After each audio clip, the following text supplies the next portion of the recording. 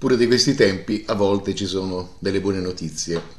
L'altra mattina ho ricevuto un'email molto gradita, un'email eh, da parte di eh, Don Francesco Ricossa, il quale mi scriveva che finalmente era uscita la ristampa eh, di un'opera di eh, Monsignor Umberto Benigni. In realtà la ristampa del primo volume eh, dell'opera di Monsignor Benigni, Storia sociale della Chiesa. Naturalmente sono corso a, a comprarne una copia. Eh, il mio desiderio è presentarvi questo libro, ma non vorrei usare le mie parole, eh, visto, visto, le bellissime parole che ha usato eh, Don Francesco Ricossa nella, nella, prefazione. Quindi vi leggo parte della, della prefazione e poi parte della, della quarta di copertina.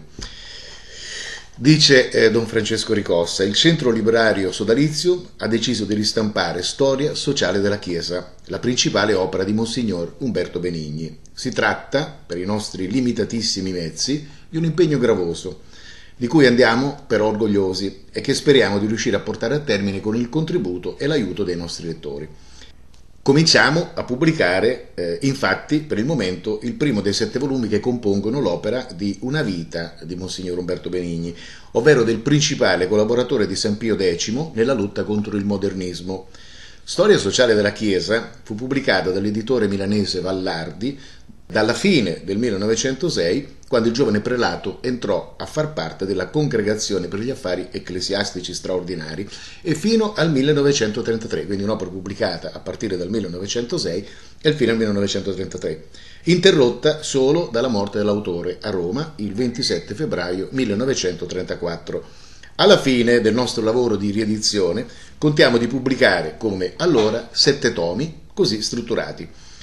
Primo volume, La preparazione dagli inizi a Costantino, edizione del 1906 che è poi il primo volume, è questo che è stato ristampato appunto dal centro librario Sodalizium. Volume secondo, da Costantino alla caduta dell'impero romano, tomo 1 1912 e tomo 2 1915. Volume 3, La crisi della società antica, dalla caduta eh, alla rinascita dell'impero romano. Volume 4, L'apogeo, tomo 1 1922, tomo 2, 1930, volume 5, La crisi medievale, 1933. Eh, nel piano dell'opera, l'autore, cioè Monsignor Benigni, si proponeva di trattare di sette periodi della storia della Chiesa, che non ha avuto modo, pertanto, di pubblicare due volumi, quelli relativi al sesto periodo, epoca moderna, periodo dell'antico regime, dalla riforma alla rivoluzione 1517-1789 e al settimo periodo, epoca moderna, periodo della rivoluzione, della rivoluzione francese, oggi, eccetera. Si domanda Don Francesco Ricossa, che senso ha pubblicare oggi, nel XXI secolo, un'opera iniziata più di un secolo fa? E per giunta incompiuta, attenente alla materia, la storia, che, al contrario della teologia e della filosofia, scienze speculative, è calata nel contingente e nel continuo approfondimento delle fonti. Il fatto è che la storia sociale della Chiesa, come tutte le grandi opere, è ancora attuale ai nostri giorni. L'attualità di quest'opera non è dovuta al ruolo, pur importante, svolto da Monsignor Benigni nel mondo accademico, ma anche dal fatto che il nostro autore poteva unire, cosa non comune, L'esperienza dell'uomo di Stato, avendo lavorato in segreteria di Stato, la verve del giornalista, la fede del sacerdote, l'acume poliziesco del creatore della moderna intelligence vaticana e chi più ne ha ne metta.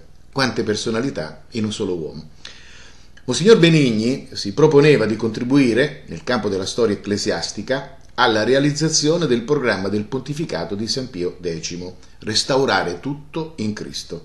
E questo particolarmente nello studiare quello che egli chiama l'impero della Chiesa, ovvero sia, ovvero sia l'influenza della Chiesa nella vita sociale della umana civiltà. La sua era allora, e lo è eh, ancora oggi, un'opera estremamente moderna, cosa apparentemente paradossale in un dichiarato antimodernista appunto come un signor Benigni.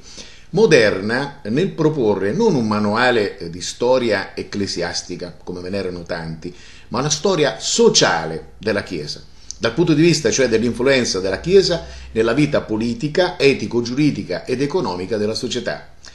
Moderna nell'accogliere pienamente il metodo critico nella storia anche ecclesiastica, sicuro che una sana critica storia non sarebbe mai stata contro la Chiesa e la verità, ma a suo favore. Moderna infine nello stile inimitabile, ironico e arguto dell'autore. Quindi ci sarebbe altro da, da, da leggere, io aggiungo semplicemente che, eh, che quest'opera, la ristampa di quest'opera, mancava, perché è un'opera davvero, davvero straordinaria, io la consiglio ovviamente eh, di leggerla sia ai cattolici ma anche ai non cattolici, perché scoprirete una storia della Chiesa molto lontana da quella che potete immaginare, molto lontana da quella che è arrivata a noi, dai banchi di scuola e non solo dai banchi di scuola purtroppo, scopriremo una storia della Chiesa che vale la pena veramente conoscere e scopriremo tutto ciò che la Chiesa ha fatto per la società. Grazie e alla prossima. E ricordate, Storia sociale della Chiesa, volume primo, Centro Librario Sodalizio. Alla prossima e grazie.